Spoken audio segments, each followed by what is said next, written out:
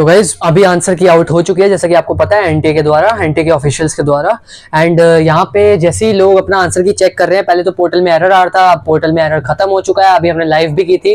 Live के तुरंत बाद में एक वीडियो बना रहा हूँ आप सबके लिए क्योंकि बच्चों को बहुत ज़्यादा एक डाउट निकल के आ रहा है कि भैया पोर्टल तो खुल रहा है लेकिन उसमें हमें आंसर की का दिखेगी ऑफिशियल एनटीए की? क्योंकि जैसे ही आंसर की पे हम क्लिक कर रहे हैं ना व्यू आंसर की वाले पे तो हमें ये एरर दिख रहा है। ये आपको स्क्रीन पे दिख रहा होगा ये एरर हमें दिख रहा है ये एरर बच्चों को दिख रहा है। तो यार मैंने उनको बोला कि ये एरर आपको दिखेगा। अगर आपने कंप्यूटर बेस्ड टेस्ट पर computer based basically computer based test आपने नहीं दिया, आपने ओएमआर टेस्ट दिया है पेन पेपर पे टेस्ट दिया है, ठीक है? तो गाइज़ उन बच्चों को ये एरर दिखेगा जो लोग व्यू आंसर की कर रहे हैं और ब्रैकेट में सीबीटी लिखा है, वो वाले बटन पे क्लिक कर रहे हैं, क्योंकि यार जैसे तुम क्लिक करोगे ना इस बटन पे तो यार वो तो सीबीटी वाले की आंसर की शो करेगा ना। सीबीटी में तुम्हारा हुआ है नहीं एग्ज़ाम ठीक है? कंप्यूटर बेस्ड टेस्ट तुम्हारा हुआ नहीं है। तुम्हारा ओ पे हुआ है पेन पेपर बेस्ड तो तुम्हारा इसलिए वहाँ पे नहीं दिख रहा। इसलिए तुम्हारा जो सबसे पहले वाला ऑप्शन है ना चैलेंज आंसर की ब्रैकेट में ओएमआर लिखा है ग्रीन कलर का बटन इस पे क्लिक करोगे, अगर आपको ओएमआर वाले बच्चे हो पेन पेपर पे एग्ज़ाम दिया, और वो वाली आपको आंसर की देखनी है एनटीए के द्वारा, ठीक है? क्योंकि वो वाली आंसर की आपको ऐसे डायरेक्ट नहीं मिलेगी देखने को, वो वैसे ही मिलेगी, जैसे मैं अभी आपको बता रहा हूँ, और आपका वो एरर भी खत्म हो जाएगा फिर, जो आ रहा था, ठीक है? तो आप वहाँ पे क्लिक करेंगे ग्रीन बटन पे ग्रीन बटन पे क्लिक करने के बाद आप इस पेज पे आएँगे, इस पेज पे आते ही यहाँ पे सारे कोर्सेज लिस्ट हो जाएँगे, जो भी आपने एग्ज़ाम दिए हैं जिस सब्जेक्ट के एग्ज़ाम दिए वो सारे सब्जेक्ट्स यहाँ पे लिस्ट हो जाएँगे। अब किसी भी पर्टिकुलर सब्जेक्ट को आप क्लिक करके उसको ड्रॉप डाउन से ऐसे नीचे करके एंड क्लिक करने के बाद वहाँ पे उसकी ऑफिशियल आंसर की आ जाएगी। एनडीए ने जो ऑफिशियल आंसर की डाली है, वो वहाँ पे आ जाएगी। अब यहाँ पे आप साथ ही साथ आंसर की भी देख सकते हैं और साथ में अपनी ओएमआर शीट भी खोल सकते हैं, दूसरे अपने ब्राउज़र के टैब पे, ठीक है, जहाँ भी आप देख रहे हैं। तो साथ में आप अपनी ओएमआर को यहाँ से आंसर की से कंपेयर कर सकते हैं और अपने मार्क्स देख सकते हैं कितने आपके बन रहे हैं। कमेंट में एक बार ज़रूर बताना कितने मार्क्स आपके बन रहे हैं। एंड यार, बधाई हो जिसके अच्छे बन रहे हैं, जिसको पहले कंफर्म हो गया कि उसको डी मिल जाएगा। तो बहुत बहुत बधाई हो। जिसको नहीं भी मिला, निराश मत हो। आगे वीडियो आएगी best college option other than Delhi University without CUET as well ठीक है? बिना सीयूटी के कैसे एडमिशन लेना है, कौन से कॉलेजेस हैं, उन सबकी गाइडेंस वीडियो पूरी आएगी रिसर्च के साथ। मैं अभी कर रहा हूँ रिसर्च एंड उस पर वीडियो बनाऊँगा बहुत जल्दी और बहुत अच्छे अच्छे कॉलेजेस में लाऊँगा तो वीडियो ज़रूर देखना चैनल के साथ बने रहना चैनल को सब्सक्राइब कर लेना बेलाइकन को ऑन कर लेना।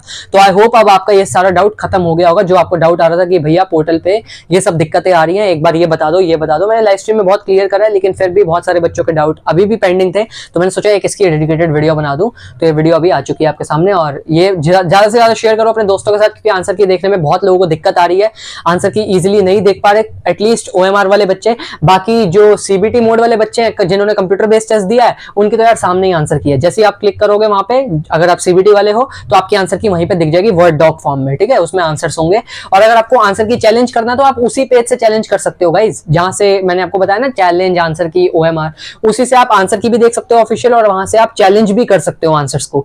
लाइक like, कौन सा ऑप्शन आपके नज़र में करेक्ट है वो टिक लगा दो एंड नीचे जाके सबमिट कर दो उतनी फ़ी पे कर दो एंड यस नौ तारीख शाम पाँच बजे तक आप चैलेंज कर सकते हो तो चैलेंज कर लेना। इस वीडियो में मैंने आपके डाउट क्लियर कर दिए और साथ ही में एक डाउट और है यहाँ पे कुछ बच्चे पूछ रहे हैं भैया ये जो ड्रॉप लिखा है एनटीए ने कुछ क्वेश्चन पे यानी कि एनटीए ने कुछ क्वेश्चन ड्रॉप कर दिए उसका मतलब क्या क्या उसके मार्क्स हमें मिलेंगे?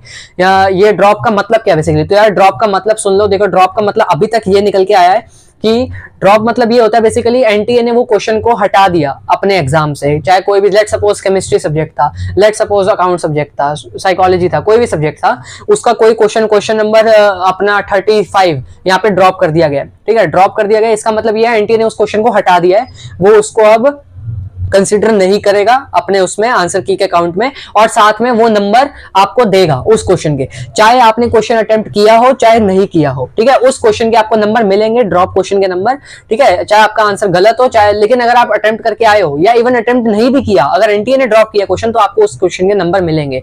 लेकिन अगर मान लो आगे जाके अपडेट में चेंज होता है कि ड्रॉप का मतलब ये है कि हमने क्वेश्चन ही हटा दिया मार्क्स नहीं मिलेंगे तो वो मैं आपको अपडेट कर दूँगा, लेकिन अभी तक का ड्रॉप का मतलब यही है कि आपको मार्क्स मिल जाएँगे उस पर्टिकुलर क्वेश्चन के, ठीक है? चाहे आपका करेक्ट हो, चाहे आपने अटेम्प्ट किया हो या ना किया हो। आई होप ये डाउट भी आपका क्लियर होगा। तो इस वीडियो के अंदर गाइज़ यही रखते हैं। अगर आपको पसंद आई हो तो लाइक ज़रूर करना। जितना हो सके लाइक कर देना। रीच बढ़ जाएगी और बच्चों के डाउट क्लियर हो जाएँगे। अपने दोस्तों के साथ शेयर कर देना। नीचे डिस्क्रिप्शन में टेलीग्राम चैनल का लिंक है, जाके ज्वाइन कर लेना। इंस्टाग्राम पे मेरे को फॉलो कर लेना। डिस्क्रिप्शन में लिंक है वो भी और जाके मेरे से डाउट पूछ सकते हो वहाँ पे आप, कोई भी आपको डाउट है तो। ठीक है गाइज़ मैं मिलता हूँ फिर ऐसी अगली वीडियो में। चैनल के साथ बने रहना। ठीक है गाइज़ फिर बाय